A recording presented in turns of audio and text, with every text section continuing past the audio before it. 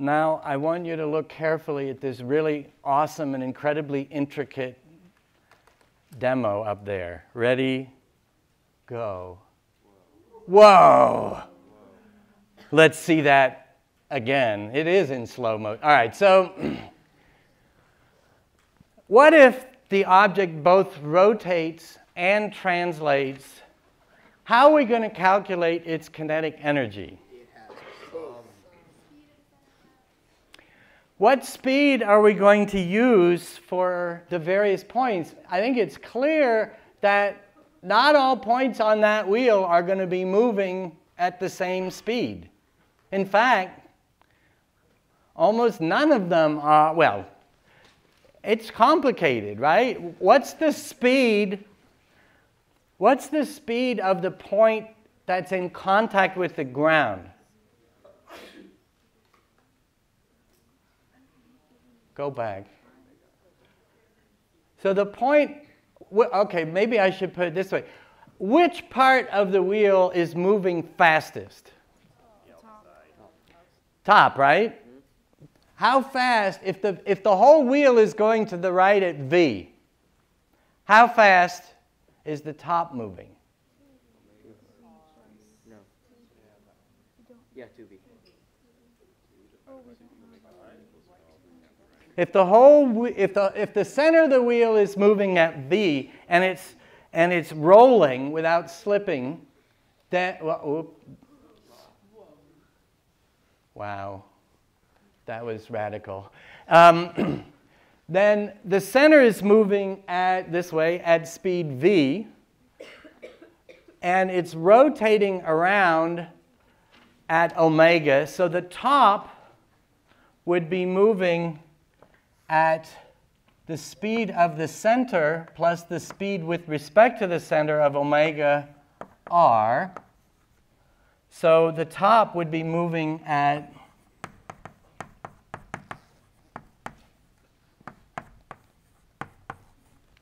So if it rolls without slipping and v was equal to omega r, then the top would be moving at speed 2v.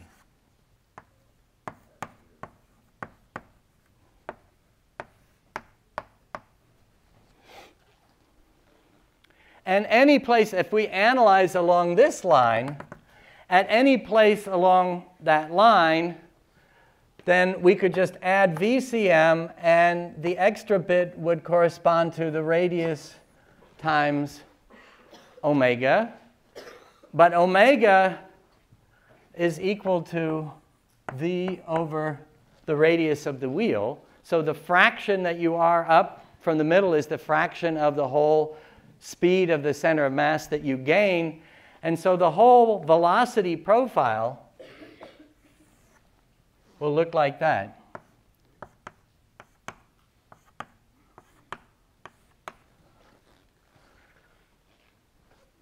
So at the bottom, the bottom is moving backwards with respect to the center at omega r.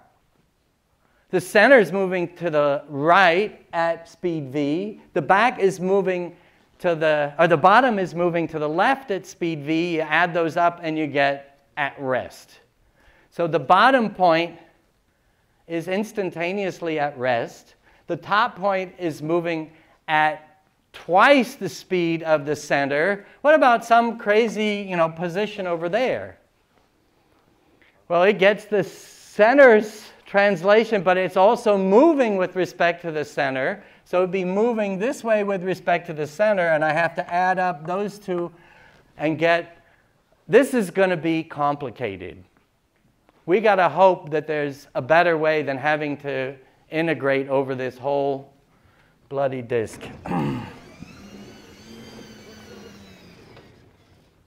What's that?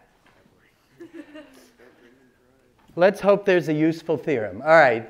So I want to not even worry for the moment about rigid bodies. I just want to worry about a bunch of junk, a bunch of mass points that are whizzing around in various ways, and just use the definition of kinetic energy.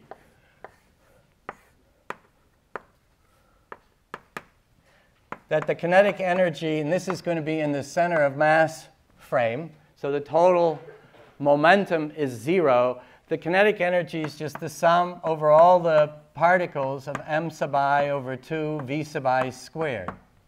Whoops. Except that I want to write that to make it very clear that we're going to remember that each one is moving in three dimensions and so has a vector velocity, but it's the magnitude squared that we're interested in.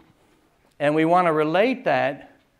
Suppose that that center of mass frame is actually moving to the right compared to the lab, and it's moving to the right at speed v center of mass.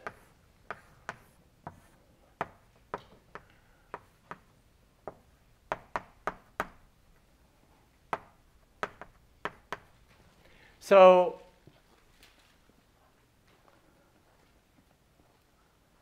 So now, what is the velocity of every particle? Well, in this frame, I have to sum 1 half m sub i, but, whoops. But the velocity of every particle, did I put a prime? I did. This should have a prime. We're going to use a prime to indicate the center of mass frame. So this prime here is not Amazon prime. This is center of mass frame. So V prime sub i, but then every particle then gets an additional velocity component. We don't have to use the relativistic velocity transformation. Aren't you relieved? No, no, no. Okay. Yes, be relieved. Okay. And then we need to take that squared. Okay. Is everyone clear on that? I just, if the whole thing is translating to the right at speed VCM, then every particle's velocity gets that additional component, and we now have to add up all the velocities squared. So we're going to use, what are we going to use to simplify this? How do we express the magnitude squared of a vector? Dot product, right? So this is equal to the sum on i of 1 half m sub i, v prime i plus v center of mass, dot v prime i plus v center of mass.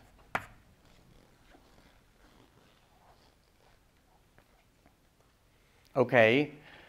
How many terms? I, I think that's really only going to give us three terms because two of them will be the same, but here we go. So the sum on i of 1 half m sub i v prime i dot v prime i is just v prime i squared. That's just the magnitude squared of v prime i.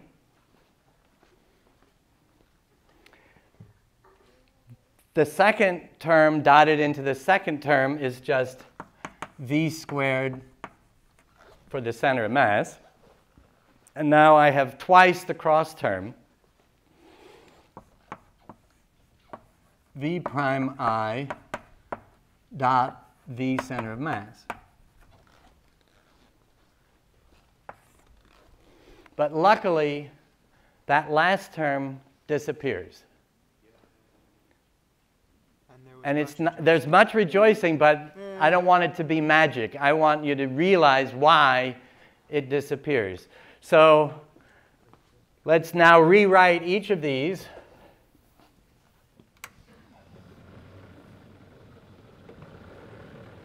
Yeah, I think that motor just got killed, which is good. I guess. Okay, so the first one looks like sum on i of 1 half m sub i v sub i prime squared, which is a fancy way of just writing the kinetic energy in the center of mass frame. It's not even fancy. It is just the center of kinetic energy. So this part is the kinetic energy in the center of mass frame. What about this sum?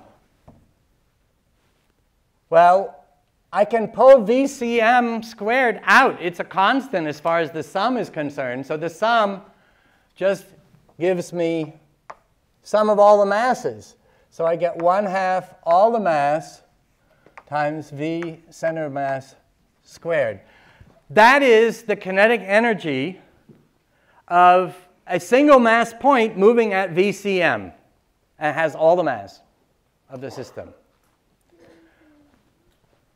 On the, last ter term, I want to pull out of the sum the 2 and the VCM, so I get plus VCM dotted into the sum on I of m sub i v sub i prime. Well, the 2 canceled the half. But it's going to work out that 2 times a half times 0 is the same thing as 2 times 0 and so on. Because this sum in the center of mass frame is 0. That's what makes it the center of mass frame. Has no momentum, no net momentum. So we're left with this very beautiful result that the kinetic energy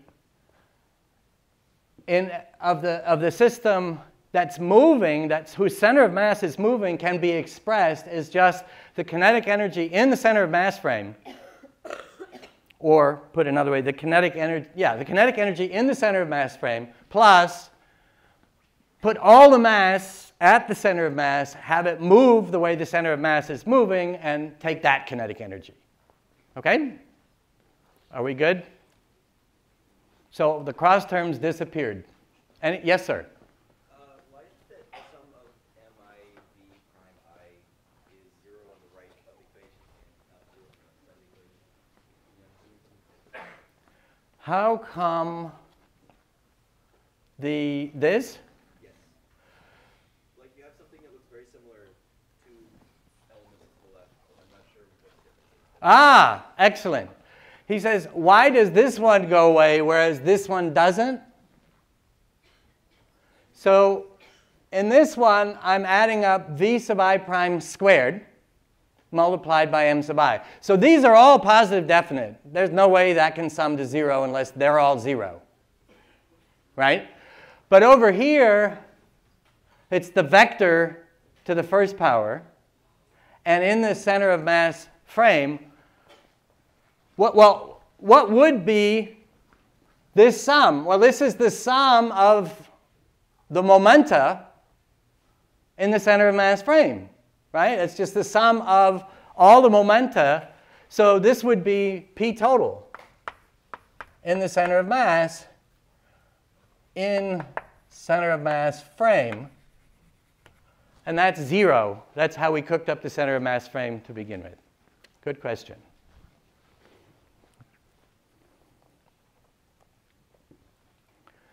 So in voids, um, the kinetic energy in the lab frame is the kinetic energy in the center of mass frame plus the kinetic energy of all the mass moving with the center of mass velocity, which is just what it says in more compact notation in the yellow box. Are you ready? You're going to go ahead even if we're... I'm going to go ahead. e- Yeah, you got it. Okay, wait, there's supposed to be. Oh, yeah, there was the nifty animation. Did you miss it? I did too. All right, once more. Oh, that was exciting. Okay.